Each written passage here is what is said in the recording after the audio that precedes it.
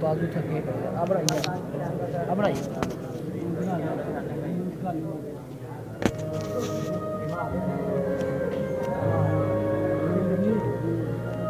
آئیے دیکھیں۔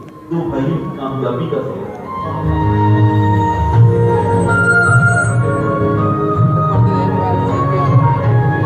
راستوں سے منزلوں کا سفر مشکلیں آئیں، راستے دشوار۔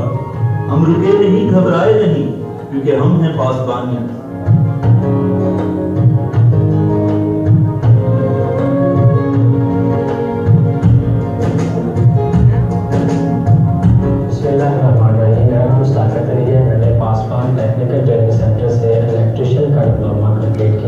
کیا ہے پاسبان ہونے کے بعد ادارے کی طرف سے مجھے وظیفہ دیا گیا جس کی مدد سے میں نے تین سال پہلے اپنی شاپ بنائی ہے الحمدللہ میں اپنی اس شاپ سے ایک بہترین روزگار کما رہا ہوں جس کی مدد سے میں اپنی اور اپنے گھر والوں کی بہترین کمائی کر رہا ہوں آج میں جو بھی ہوں پاسبان گروپ کے چیئرمین بیٹے شاہ نواز حسن کی اس کاوش کی ضرورت ہے بسم اللہ الرحمن الرحیم السلام علیکم میرا نام محمد مشرافت علی ہے میں نے پاسبان ٹیکنیکل ٹریننگ سینٹر سے پہلے بیچ میں ریفریجریشن اینڈ ایئر کنڈیشننگ کا ڈپلوما کمپلیٹ کیا آج ہم ٹریننگ پر بہترین کارکردگی دکھانے پہ پاسبان گروپ نے میری مالی امداد کی، جس کے بعد میں نے اپنی شاپ بنائی۔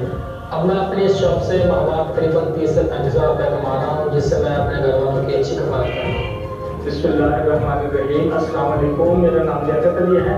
شرافت علی اور صداقت علی میرے دو بیٹے ہیں۔ ہمیں پتہ چلا تھا کہ باسپا ٹیکنیکل گروپ کے نام سے کوئی ادارہ یہاں پہ قائم ہوا ہے۔ جو کہ بچوں کو بالکل وقت ٹریننگ دے رہا ہے، تو میں نے وہاں پہ اپنے بچوں کی درخواستیں دی، ایک کی فریجنسی میں اور ایک کی الیکٹریشین میں۔ وہاں سے اپنے کورسز مکمل کیے اور اس کے بعد پھر ہمیں ادارے کی طرف سے جو مالی امداد کی گئی، پھر ان اس سے ہم نے اپنی یہ شاپ بنائی۔ آج الحمدللہ میرے دونوں بیٹے برسر روزگار ہیں اچھا کما رہے ہیں۔ یہ میجر شاہ نواز صاحب کی بڑی اچھی کاوش ہے۔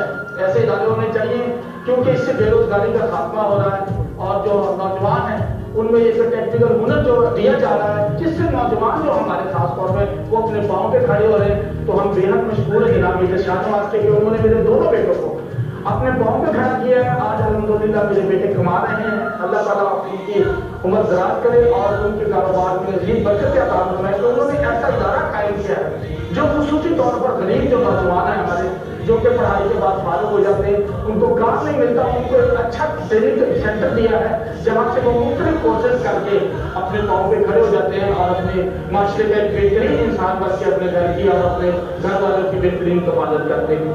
تو ہم آخر میں ایک بار پھر میجر صاحب کے لیے دعائیں کریں گے کہ اللہ کرے ایسے وہ کئی ادارے مزید بنائیں تاکہ جس سے پاکستان میں جو بے روزگاری ہے وہ ختم ہو سکے اور غربت ختم ہو سکے۔ شکریہ پاسبان شکریہ۔